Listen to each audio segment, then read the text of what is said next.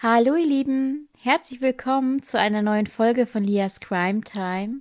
Schön, dass ihr dieses Mal auch wieder mit dabei seid. Das freut mich sehr. Heute gibt es einen Fall für euch, der ja ein bisschen speziell ist. Er ist ungeklärt. Es ist eigentlich ein vermissten Fall. Ich würde aber fast schon sagen, es ist ein ungeklärter Mord, ein ungeklärtes Tötungsdelikt, denn keiner geht mehr so richtig davon aus, dass Sandra Doland noch leben könnte, aber offiziell ist es ein Vermisstenfall. Und ich würde sagen, wir starten auch einfach mal direkt mit der Folge. Sandra Doland lebte damals in Eiddorf bei Bonn, genauer gesagt im Ortsteil Eiddorf-Bach. Dort soll sie seit 2006 gelebt haben. Das ist so ein kleines 400 Einwohnerdörfchen im Rhein-Sieg-Kreis. Und Sandra war damals 42 Jahre alt im Jahr 2012. Gebürtig kam sie eigentlich aus Rostock. Sie war Verkäuferin in Teilzeit in einem Lebensmittelgeschäft in Eiddorf und hatte zwei Kinder. Eine damals sechs Jahre alte Tochter und einen 18 Jahre alten Sohn. Ihr Sohn lebte, soweit ich weiß, nicht mehr mit in dem Haus, hat dort aber mal gelebt. Und Sandra lebte mit ihrer kleinen Tochter eben zusammen und mit ihrem Partner Heiko. Den Namen Heiko habe ich geändert. Heiko war aber nicht der leibliche Vater von Sandras kleiner Tochter. Ihre beiden Kinder stammen aus früheren Beziehungen. Sandra wird als lebenslustig beschrieben, offen, freundlich und auch durchaus attraktiv. Mit Heiko hatte Sandra sich zusammen ein kleines Häuschen gekauft und die Familie benötigte aber mehrere Jobs, um dieses Häuschen überhaupt abbezahlen zu können und natürlich auch ihr Leben, ihren Lebensstandard weiterführen zu können, mit allem, was eben so dazugehört. Ihr Mann ist Koch im Krankenhaus gewesen und hat zusätzlich noch Zeitungen ausgetragen. Außerdem hat die Familie noch Hunde gezüchtet.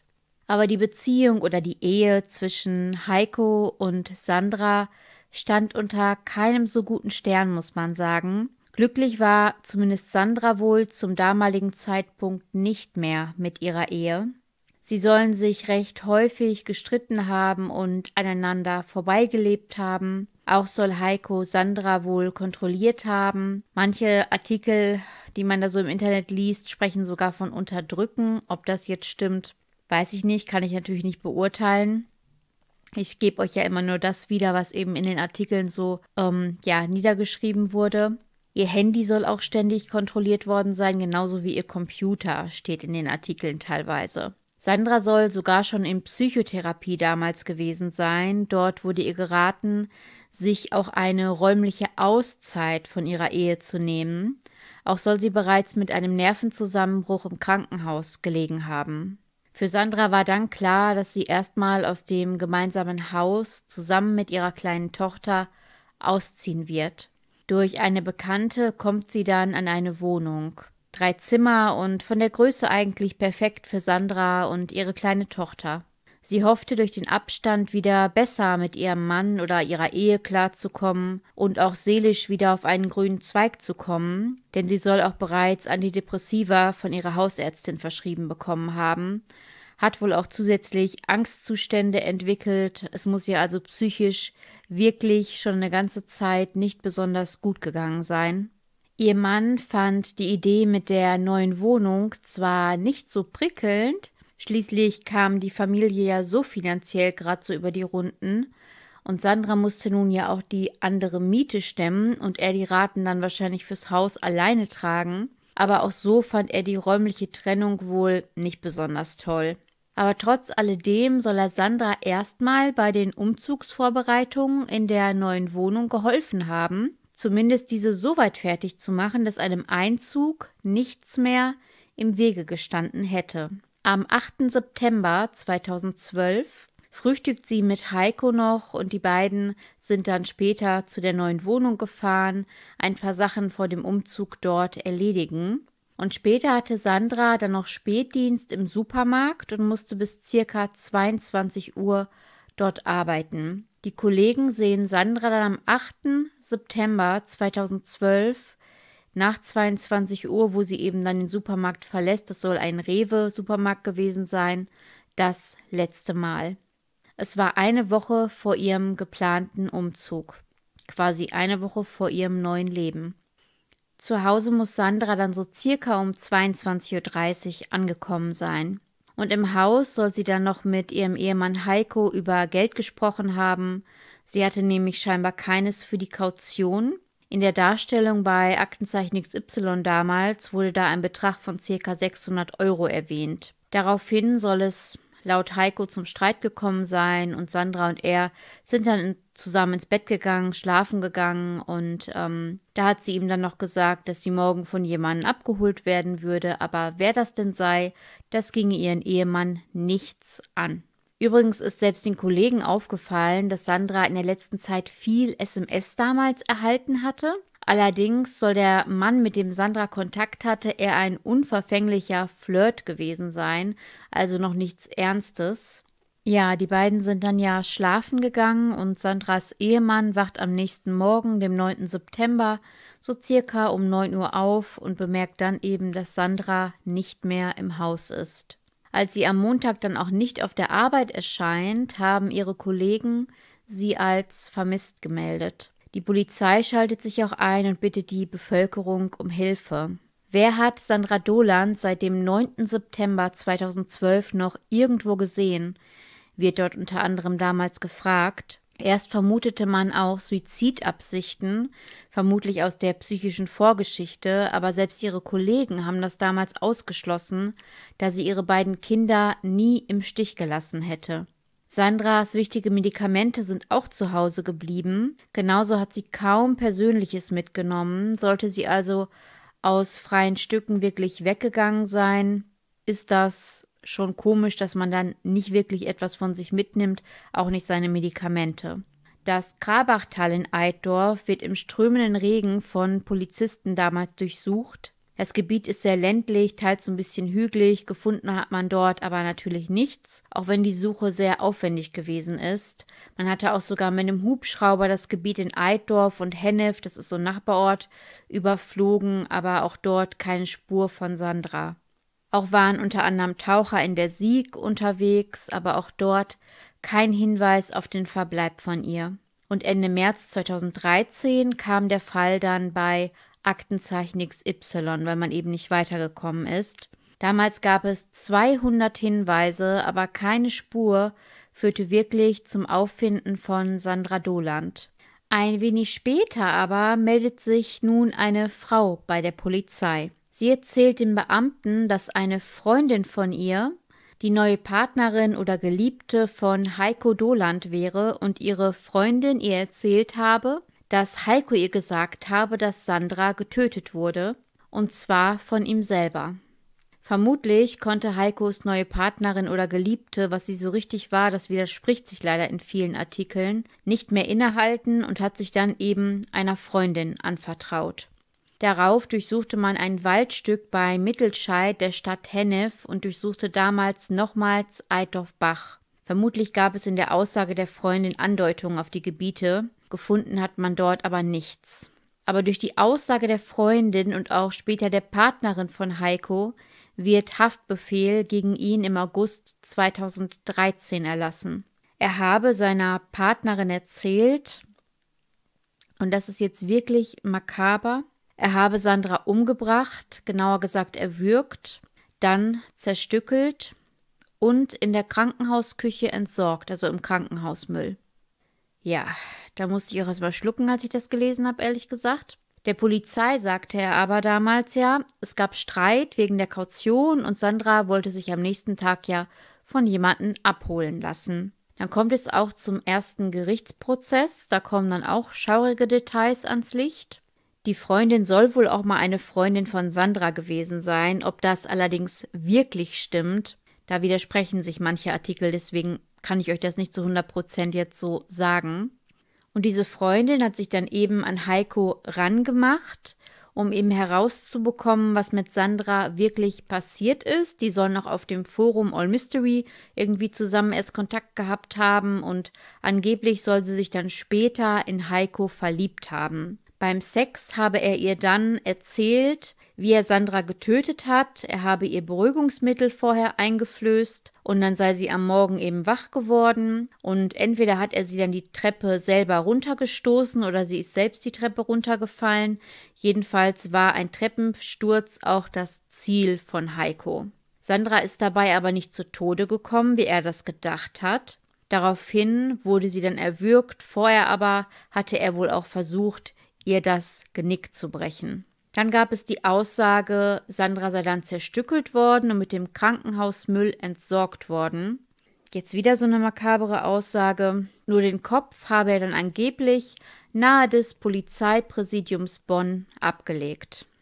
Im Prozess und auch in U-Haft hat Heiko dann ausgesagt, dass dies nur eine erfundene Horrorgeschichte gewesen sei. Seine Freundin oder Geliebte wie auch immer das jetzt mit dem Verhältnis war, hatte ein Fable für Horrorgeschichten. Und die Freundin von Heiko soll auch Diplomatentochter gewesen sein, 46 Jahre alt, und habe erst aus den Medien erfahren, dass Sandra verschwunden ist. Sie hat dann damals eben für sich selbst recherchiert, unter anderem in diesem All Mystery Forum, und wollte Heiko dann der Sache überführen. Vielleicht war das dann wirklich auch eine Freundin von Sandra, könnte ich mir gut vorstellen, weil vielleicht kannten die beiden sich.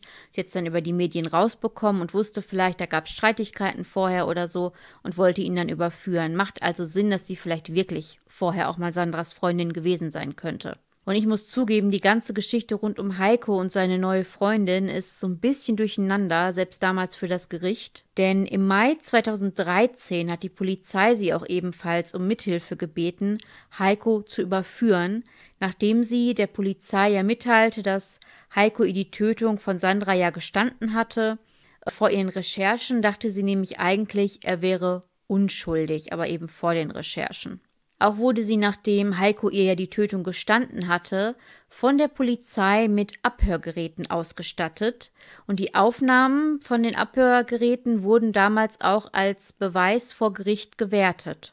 Es war damals im April 2014 ein reiner Indizienprozess, denn es gab keine richtigen Beweise und natürlich auch keine Leiche. Das meiste wurde wirklich aufgebaut aus der Aussage von Heikos neuer Freundin heraus. Es gab auch einen Ortstermin in dem Haus damals noch. Da war auch Sandras Sohn dabei, der auch drei Jahre in diesem Haus gelebt haben soll. Und dabei war, ich nenne es schon auffällig, man muss das ja immer mit Vorsicht sagen, aber für mich wäre es jetzt auffällig, wenn man den Fall so betrachtet, sagen wir es mal so, dass Heiko die Badewanne und die Fliesen im Haus herausgerissen hatte, angeblich um einen Durchbruch dort zu machen. Kann ja auch sein, ist nur in dem Fall einfach komisch, wenn man sich das vorstellt im, im ähm, Zusammenhang eben mit Sandra und der Zerstückelung beispielsweise, ne? Und auch die Matratze vom gemeinsamen Ehebett sei nicht mehr da gewesen. Das kann natürlich vielfältige Gründe haben. Das Haus der Familie wurde auch mehrmals gründlich durchsucht und auch untersucht. Dabei hat man aber nichts gefunden. Auch eine Rechtsmedizinerin wurde im Prozess befragt, ob sie meint, dass der von der Freundin beschriebene Tathergang so von Heiko wirklich durchgeführt worden sein könnte, und sie sagte damals, dass es schon so gewesen sein könnte. Dann wäre nämlich auch die Treppensturzgeschichte durchaus plausibel, denn Heiko wusste ja nicht, wie man einen Menschen sofort töten könnte. Auch das vorherige Betäuben würde dann Sinn ergeben. Auch soll er geschildert haben, dass Sandra noch röchelte, was beim Erwürgen üblich ist.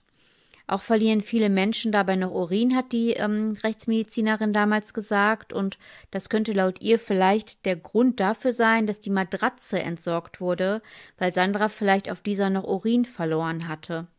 Zehn Tage musste sich Heiko damals am Bonner Schwurgericht für das Verschwinden seiner Ehefrau verantworten. Im Juli 2014 dann verurteilte ihn der Richter wegen Totschlags zu elf Jahren Haft.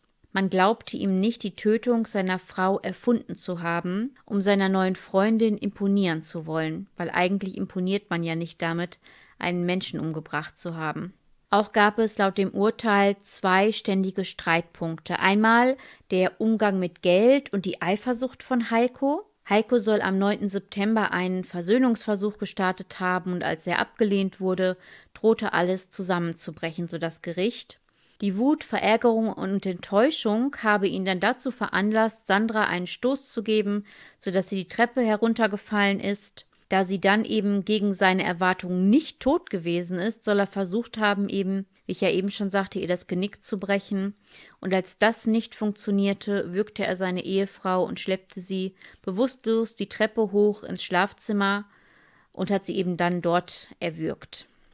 Letztendlich dort erwürgt, also nicht unten im ähm, Flur beziehungsweise im Erdgeschoss. Auch wurden die Gespräche ja aufgezeichnet. Laut Heiko sollen diese aber nur dazu gedient haben, Gelüste der neuen Freundin zu bedienen. Also die Sachen, wo er ja nicht wusste, er wird aufgezeichnet, eben sozusagen als Beweis ähm, wurde das ja mit Sicherheit auch beim Gericht vorgespielt und alles, was er dann da eben über Sandras Tod oder Sandras ähm, Mord erzählt hat, ähm, sei eben, um die Gelüste der Freundin zu bedienen. Da fragt man sich, was hat die gute Frau denn für Gelüste? Ähm, ja, ist dann nicht ganz so, glaube ich, das, was ähm, andere Leute so für Gelüste haben. Das Gericht glaubte ihm das auch nicht. Auch dass Heiko angab, Sandra wollte sich abholen lassen, mache keinen Sinn. Das soll er nur gesagt haben, da ja auch beide Autos zu Hause vorgefunden wurden. Auch soll er zeitnah die Matratze entsorgt haben, als er wusste, dass bei der Suche nach Sandra Spürhunde eingesetzt werden sollen. Und Heiko hatte dann bis zuletzt in diesem Prozess behauptet, mit dem Verschwinden von Sandra nichts zu tun zu haben. Sandras Sohn war damals erstmal erleichtert über das Urteil. Er betonte, dass seine Mutter niemals einfach so abgehauen wäre. Er hoffte damals mit der Aufarbeitung des Ganzen beginnen zu können, aber das wurde ihm leider verwehrt, denn die Verteidigung von Heiko Doland ging nach dem Urteil sofort in Revision. Der Bundesgerichtshof hat das Urteil auch einkassiert. Man gab an, dass die Bonner Richter der Hauptbelastungszeugin, also Heikos damaliger Freundin, nicht die erforderliche kritische Würdigung ihrer Aussagen unterzogen hätten. Zudem sei im Urteil nicht ausreichend begründet worden, warum die Richter die Schilderungen von Heiko zum Tatgeschehen in dem angeblichen Geständnis nur zum Teil Glauben geschenkt hatten. Das Gericht habe die Angaben zum Ablauf des Streits und der Tötung als Indiz für die Täterschaft herangezogen. Er hatte ja ähm, zum Beispiel ja gesagt, dass Sandra zerstückelt wurde und im Krankenhaus Müll entsorgt wurde, und das haben sie ihm zum Beispiel nicht geglaubt. Auf der anderen Seite, so der Bundesgerichtshof, wurden den Angaben zur Beseitigung der Leiche ja nicht gefolgt. Heiko D. hatte ja angegeben, eben ja sie zerhackt zu haben. Das glaubten ihm die Richter auch nicht. Und eben, da es da keine Spuren gab, ähm, ging man eben nicht davon aus, dass Sandra dort zerstückelt wurde. Man ging eher davon aus, dass sie eben bei Nacht und Nebel weggebracht wurde und vermutlich irgendwo vergraben wurde. Und das sind eben dann so Sachen, die die Richter ihm eben nicht geglaubt haben, ihn aber trotzdem ja eben verurteilt haben. Die Bundesrichter haben darin damals Rechtsfehler in der Beweiswürdigung gesehen. Kurz nach der Entscheidung des Bundesgerichtshofs wurde Heiko damals erstmal aus der U-Haft entlassen. Er musste eine Kaution von 15.000 Euro hinterlegen und sich regelmäßig bei der Polizei melden, bis es zu einem neuen Prozess kommt. Das Haus der Familie in Eiddorf wurde damals übrigens in der Zwischenzeit verkauft. Im November 2016 startete dann der Revisionsprozess von Heiko D. Alle Zeugen vom ersten Prozess mussten dort noch einmal aussagen. Auch Heikos Arbeitskollege schilderte, dass er Mitte November 2012, also zwei Monate nach Sandras Verschwinden, gesehen hat, wie Heiko, sein langjähriger Arbeitskollege, vier bis fünf große Müllsäcke verladen hatte. Zuletzt haben die beiden im Krankenhaus in Treusdorf zusammengearbeitet. Und als Heikos Freund ihn dann fragte, was er denn dort entsorgte, hat er ihm geantwortet, er habe eine zerschnittene Matratze entsorgt. Der Freund äußert dann im Gerichtsprozess, ich habe einen Mord immer für möglich gehalten doch er wollte sich nicht vorstellen, 17 Jahre mit einem Mörder zusammengearbeitet zu haben.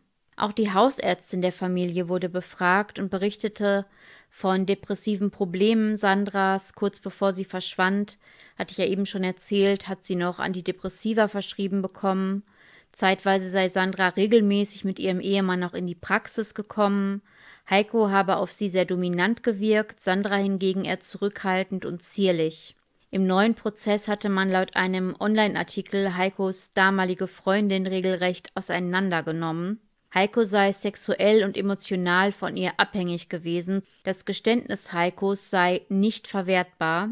Es liege nahe, dass die Diplomatentochter gezielt Kontakt zu dem damaligen Mordverdächtigen gesucht habe, um ihn zu überführen. Und der Richter machte keinen Hehl daraus, dass die Beweislage sehr mau sei. Man habe damals ja Spürhunde eben im Garten und im Haus eingesetzt, Polizeihundertschaften. Es sei kriminaltechnisch wirklich intensiv untersucht worden, man konnte dort nichts finden. Eine erneute Suche nach Indizien habe nichts Substanzielles mehr gebracht. Auch habe das Gericht die Umgebung des Wohnorts in Eitorf noch einmal durchsuchen lassen. Auch Taucher waren dann nochmal im Einsatz, aber gefunden wurde weiterhin nichts. Aber auch der Richter geht eben davon aus, dass Sandra nicht mehr am Leben ist.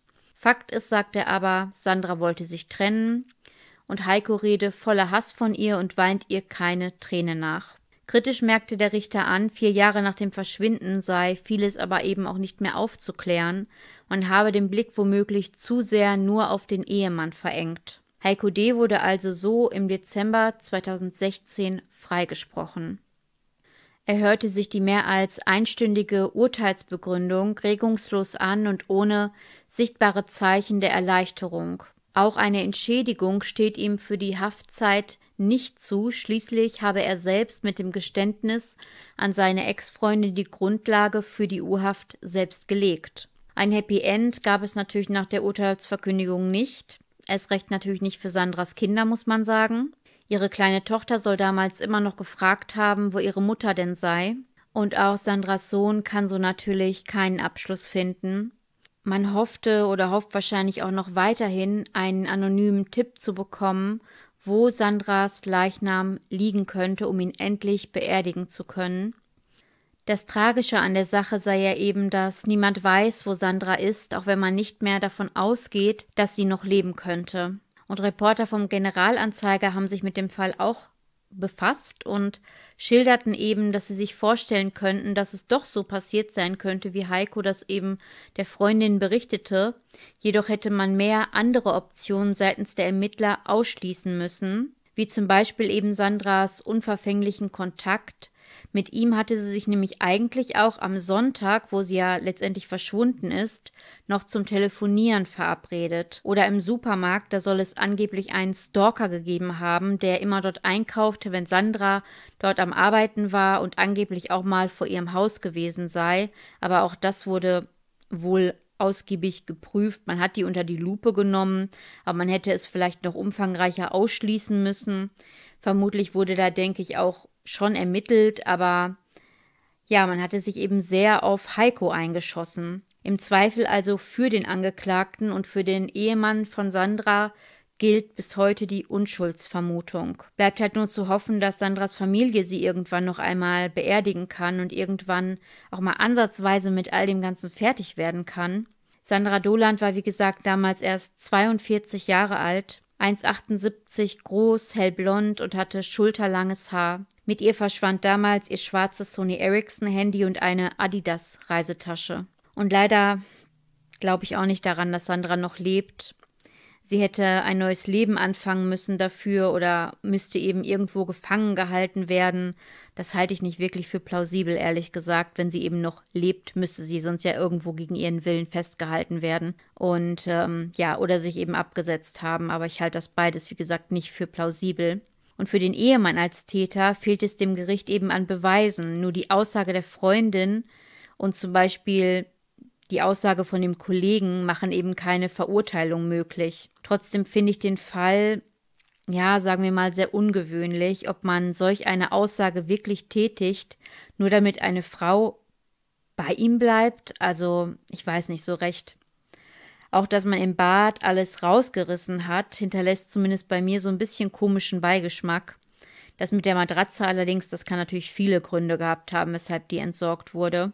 Auch soll Heiko geäußert haben, er habe die Tochter nun von der Mutter befreit, was ich auch, wenn die Aussage ja angeblich nur ausgedacht sei, dass Sandra ähm, nicht mehr lebt oder umgebracht wurde von Heiko, schon sehr extrem finde. Also, das ist ein sechsjähriges Kind und jetzt schon schwer genug wahrscheinlich jetzt ihr ganzes Leben und dann ähm, sowas zu sagen, da kann ja wirklich für Sandra nicht viel mehr übrig gewesen sein an Liebe, würde ich jetzt mal sagen. Egal, was da jetzt vorgefallen ist oder ob sie, wie sie verschwunden ist, wer dafür verantwortlich ist, wie auch immer. Ähm, da kann, glaube ich, nicht mehr so viel Gefühl übrig gewesen sein. Denn Sandra soll eine sehr liebevolle Mutter gewesen sein. Und für die Kinder tut mir das einfach unfassbar leid. Auch kann man ja, sollten nochmal neue Beweise auftauchen, Heiko D. nicht mal mehr noch einmal verurteilen, denn er wurde ja schon mal zu Unrecht verurteilt und jetzt eben freigesprochen von dem Tatvorwurf des Totschlags. Das geht, glaube ich, seit einer neuen Gesetzgebung nur noch bei Mord, aber dafür müsste man schon Sandras Leiche finden, seine DNA-Spuren vermutlich darauf und da hätte man vielleicht dann aber auch wieder eine Erklärung für. Also das würde nicht so einfach gehen, ihn nochmal zu verurteilen. Die hatten ihn übrigens damals auch nur für den Tatvorwurf des Totschlags verurteilt und nicht des Mordes, weil sie so gedacht haben, ihn überhaupt verurteilen zu können für das Verbrechen an Sandra, weil Mord noch schwerer gewesen wäre, eben zu beweisen, sagen wir es mal so vereinfacht. So stand das zumindest in einigen Artikeln und auch in einem Podcast vom Generalanzeiger. Und ähm, ja, wie gesagt, für Sandras Kinder tut mir das unfassbar leid. Die Tochter lebt jetzt ja schon elf Jahre ohne ihre Mutter. Die ist ja heute dann schon 17, vielleicht sogar 18 mittlerweile. Also so alt wie ihr Bruder, als die Mutter damals verschwunden ist. Und ja, für die Kinder mag ich mir das gar nicht vorstellen, ähm, wie das für die ist, so weiterleben zu müssen und nicht hundertprozentig zu wissen, war es jetzt eben der letzte Freund beziehungsweise der letzte Mann meiner Mutter oder war es jemand anders? Was ist mit meiner Mutter wirklich passiert? Und nicht mal ein Grab zu haben, um zu trauern, das ist schon wirklich für die Familie einfach schrecklich. Nicht nur für die Kinder, sondern für die Freunde, für die gesamte Familie, die eben Sandra sehr gemocht haben. Ähm, tut mir das unfassbar leid, muss man sagen. Ja, ihr Lieben, das war nun die Folge über das Verschwinden von Sandra Doland. Ihr dürft mir gern mal eure Meinung dazu in die Kommentare schreiben. Mich lässt der Fall auf jeden Fall nachdenklich zurück. Vielleicht geht es ja manchen von euch auch so. Ich beende jetzt hiermit die heutige Folge und verabschiede mich. Bis zum nächsten Mal. Eure Lia.